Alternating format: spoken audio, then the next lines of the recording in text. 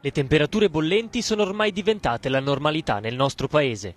In questa lunga estate iniziata già a maggio ci sono stati ben nove picchi di caldo estremo, con temperature sopra i 35 gradi nelle città del nord e non solo. Numeri triplicati rispetto alla media di 2,6 giorni registrata dal 2008 al 2021. Finora sono state 18 le ondate di calore, 5 volte invece il termometro è stato spinto dal caldo africano sopra i 40. Maggio, giugno e luglio i mesi più caldi dal 1950, con temperature che hanno provocato incendi, siccità, ma anche il distacco di costoni di ghiaccio dalle montagne.